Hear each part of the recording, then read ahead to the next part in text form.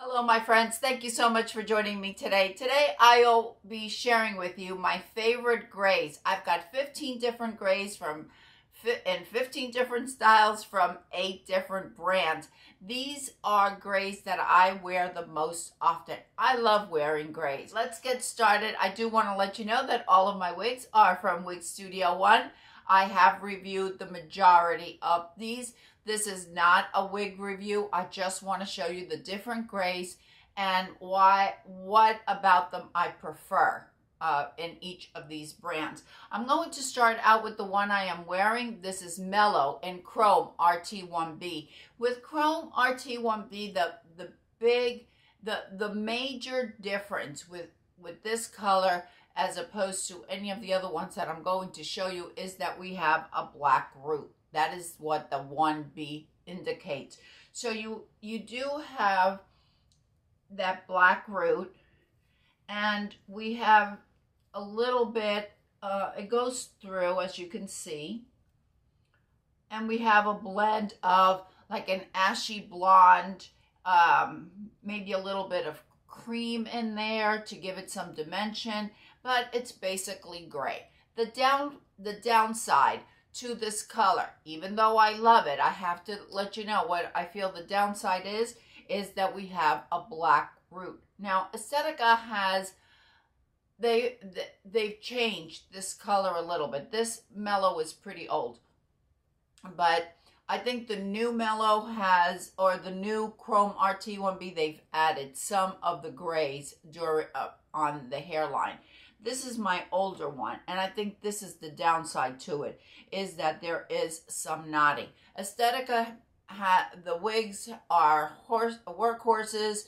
The lace fronts are beautiful. They have lots of stretch. You can't go wrong with Estetica. However, with this color, if you are a little bit iffy on the knots, you may not care for this one unless you get one of the newer styles where they've added, I don't know if they've done it to all of the styles, but I know on some of the newer styles that I've tried, they have added some of the some of the lighter fibers. But nevertheless, I still love the color. It doesn't the knots don't bother me.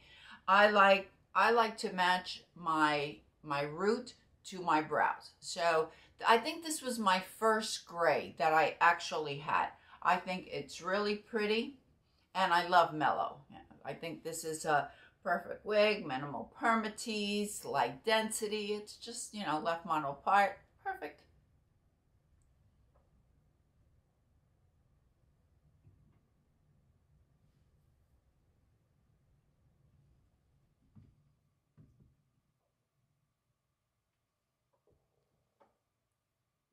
I neglected neglected to mention that I will leave timestamps and I'll, I'm divvying it up by brands.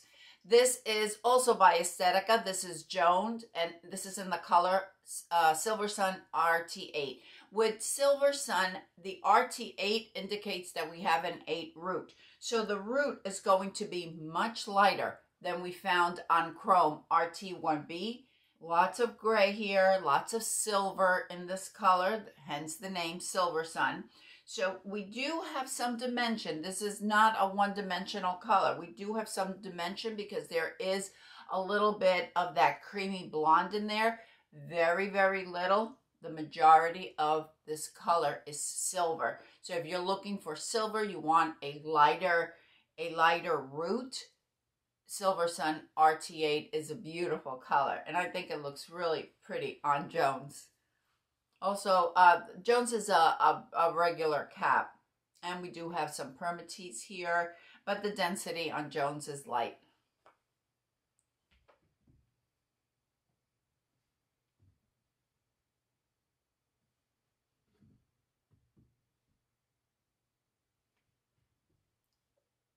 All right, how many of you were saying, okay, here she comes with Liana? Yes, Liana and Moonstone. This is by Rene of Paris. I only have one Rene of Paris in these grays that I'm going to show you, but Moonstone is one of my favorites. With Moonstone, you're going to have a, a brown root, but the root is ashy. It, you're not getting a warm root, root here, and the color is going to be a gray, but it's also blended with a light ashy blonde. So you do have, again, once again, you have the dimension, really, really pretty color from Rene of Paris. And for those of you that want to know, Liana has a basic cap. I think it is so pretty because you could wear it so many different ways and you know it's it's a lighter density minimal permatease i think it's perfect for every day if that's what you're looking for. And this color a moonstone is just beautiful. It's actually probably the second or the third one that i have.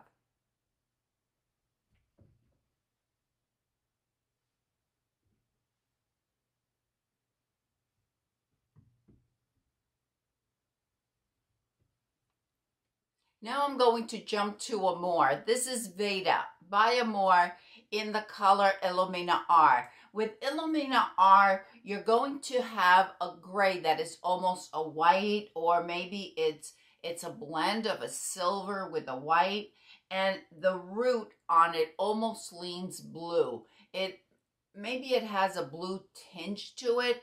It doesn't look blue, but that's the impression that I'm getting. Maybe it's the clothes that I'm wearing. But if you want a very bright, silvery gray, almost white with that darker root, I think Illumina R is absolutely beautiful. And this style, Veda, is so pretty. We have a full mono top. I can't, we have a full mono top and a very thin lace on the front.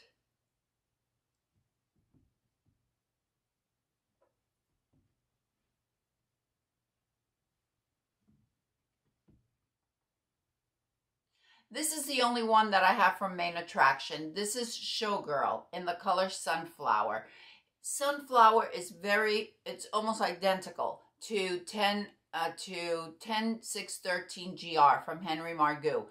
With this color Sunflower or 10613 GR, now you're going to have a blend. If you're looking for a gray, but it's blended with a blonde, with a, with a warm, or a sandy blonde. Maybe you're a blonde and you're wanting to jump into the grays. I think that Sunflower or 10613 GR is a perfect color because it's not pure gray as the previous ones that I've shown you, but rather a nice blend with some blonde in it. It's very dimensional. And of course, with Mane Attraction, as we have with Henry Margu, we have impeccable lace front just beautiful. They bring that blonde and that gray all the way to the hairline. And we do have, we have a medium brown root. So you're not going to have that stark root, but it is a little bit darker. I absolutely love Showgirl. I love the lack of permatease. I like the light density. I think it's perfect. And this color sunflower. I these are my favorite from Henry Mark, well, from Mane Attraction, this is my favorite.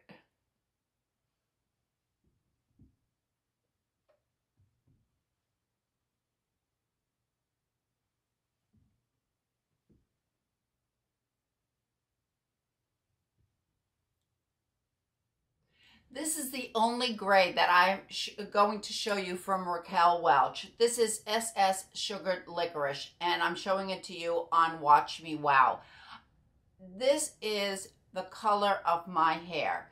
If you had dark brown hair or your orig- or black as my hair was black and you're starting to go gray or you you are you have about 50% of gray as I do, then this may be very well what your what your color looks like. This is if when I let my hair grow out, and I don't dye it, this is exactly what it looks like, minus the darker root that that we find on SS Sugar Licorice.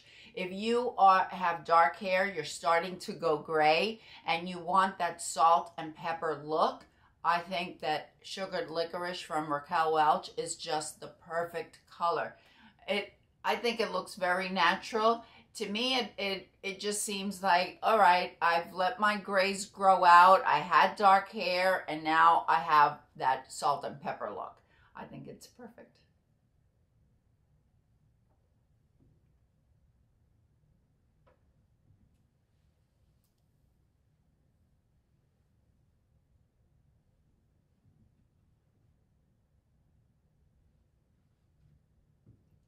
Let's jump now to Henry Margu. This is Athena in 3856 GR.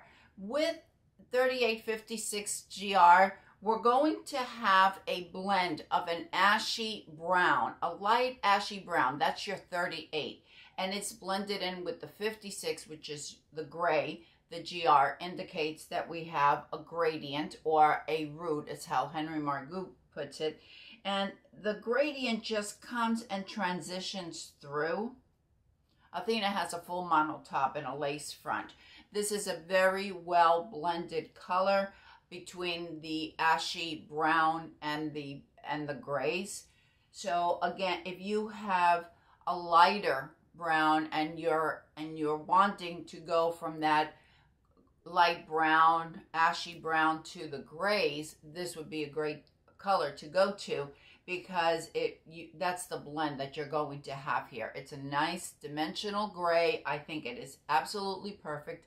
And Athena is beautiful with the uh, full mono top. And as you can see, the lace front is gorgeous and that gray comes right up and the light and the ashy brown just come right up to the to the hairline. Really, really pretty. And as you could see, I could, if I leave some of my hair out, it's going to match.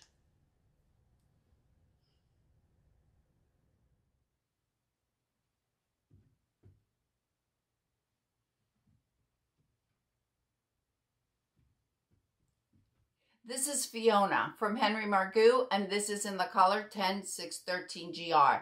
Very similar color to Sunflower, almost like that. I think they're exactly the same, actually, as Sunflower from Mane Attraction. I know that these are not pure grays, but I wanted to add them into this collection because I have many viewers that have that blonde still in their hair and they want to add a little bit of gray and not be totally gray. And I think that's what we find in 10, 6, 13 GR. We do have a beautiful dimensional color with some warm in it. There's some very, very light ashy blonde in this color. And we do have a, a uh, gradient color. So we do have a light brown root Again, I think it's a perfect color if you are transitioning to grays. And I just love Fiona. I think it's so pretty.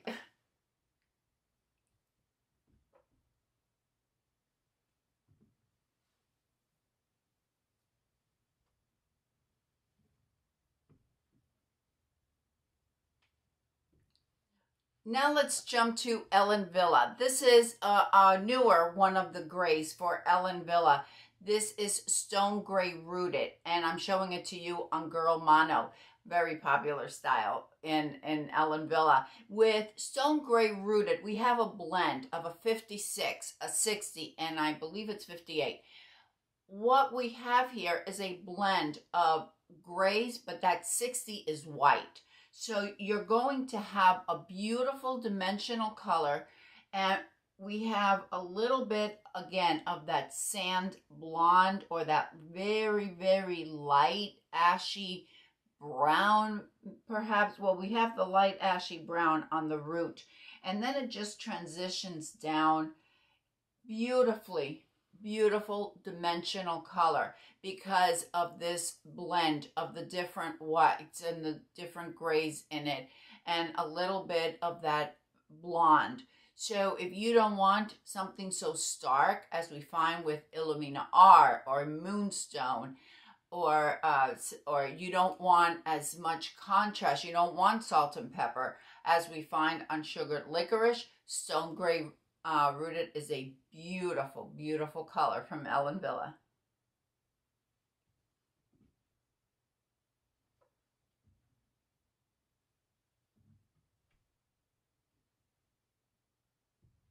Something that I neglected to mention with with uh, this one and it applies to the other ones that I'm going to show you. With Ellen Wille you you're going to have an impeccable lace front. They Ellen Wille brings that gray to the front. So you're not going to have the knotting as we found for example on Chrome RT1B from Estetica with Ellen Wille, you're going to have a very natural hairline, even though we do have somewhat of a root here. This is a, Esprit from Ellen Wille, and this is in the color Silver Blonde Rooted. With Silver Blonde Rooted on Esprit, we're going to have a 60, we're going to have a 1001, and we're going to have a 24. The 24 is your very, very light, almost blonde or a dark blonde root which transitions through and blends with the with the rest of the wig. We have that 60 which is a white and we have a 1001. I believe that's the silver in it. So you have a beautiful dimensional color, lots of gray here, lots of silver, but but it is a dimensional color due to the blonde, to that light uh, dark blonde or dark blonde or very light brown that we have at the root and it comes beautifully to the lace front. So it's all blended in. It is a really pretty uh, gray if you are wanting to lean more towards the white. The silver blonde rooted is absolutely a stunning stunning color from Ellen Wille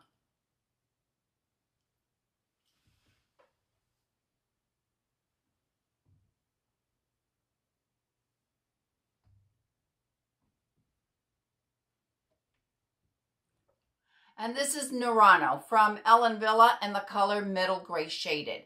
With Middle Gray Shaded, we have a 38, a 48, and a 36. So let me break it down for you.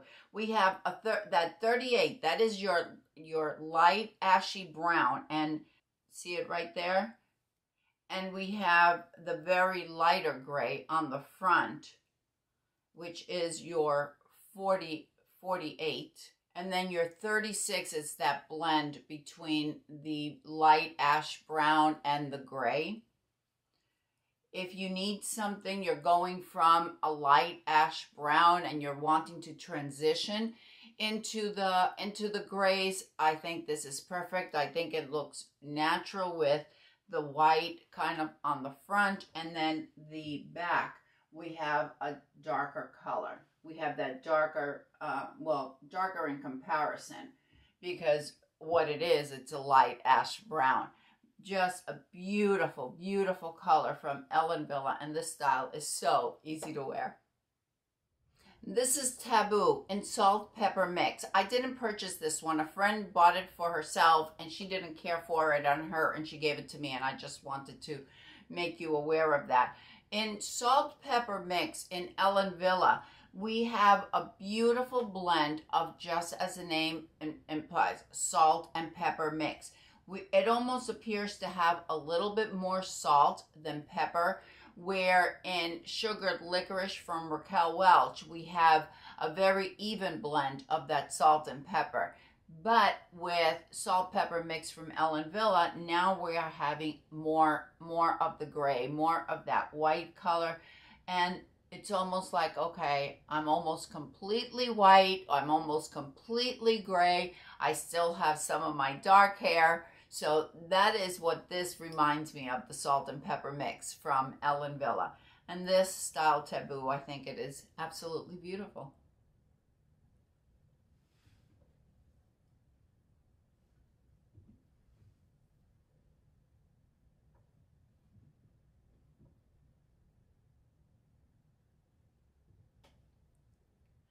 Now I'm going to end with TressAllure. This is Trend in the color 5660 R8.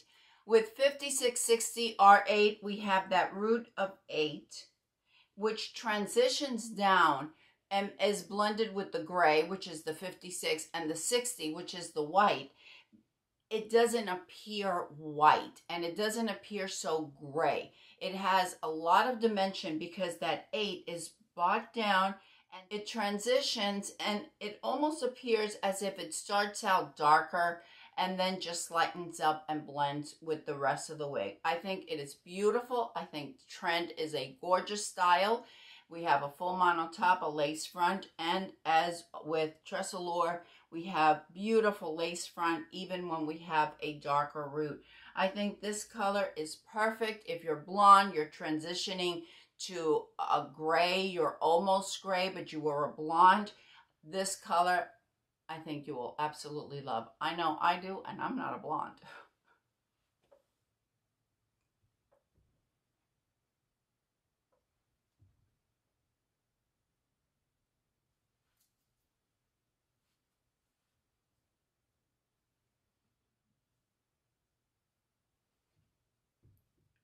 This is Charlie by TressAllure and Dark Smoke Gray.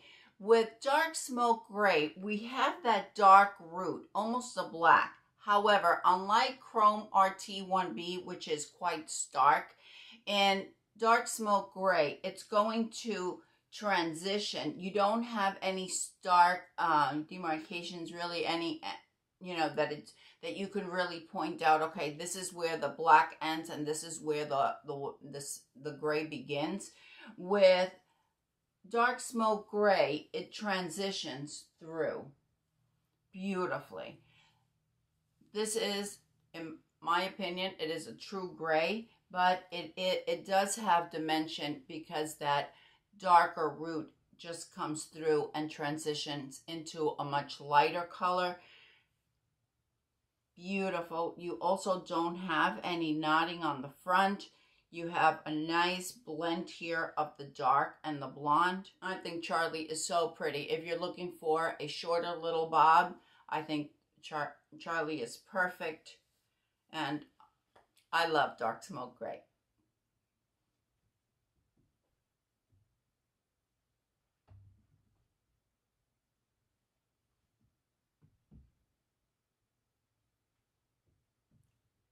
And I'm going to end up with perhaps my favorite style and, and gray. While I love them all, all the grays that I have shown you, and that's why I have them in my collection. But I have to tell you, three-tone gray from TressAllure on Undercut Bob has to go my personal favorite. Uh, while I love them all, this has got to be one of my favorites for 2023. Three-tone gray. We have a 52, 38, 49, R8. The 38 in this color is once again your light ash brown, which is blended in. And what we have, we have it, as you can see, that it's that dark ash brown underneath. In the blend, we have that 52, we have a 49. So that those are your lighter grays and your darker grays.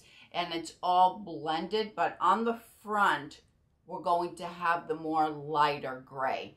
I think it is stunning, just stunning. I love, this is the third undercut bob that I have. I believe I, re, I reviewed it in 3231, which is a red. I love the style. The front is done beautifully because TressAllure blended their light ash brown with some of the grays, but you don't have that stark white or gray on the front. It's just blended so incredibly naturally. I just took this out of the box a few days ago, so I haven't messed with it, and right now it's falling in my face. But I couldn't leave this one out because I just, I just think it's beautiful.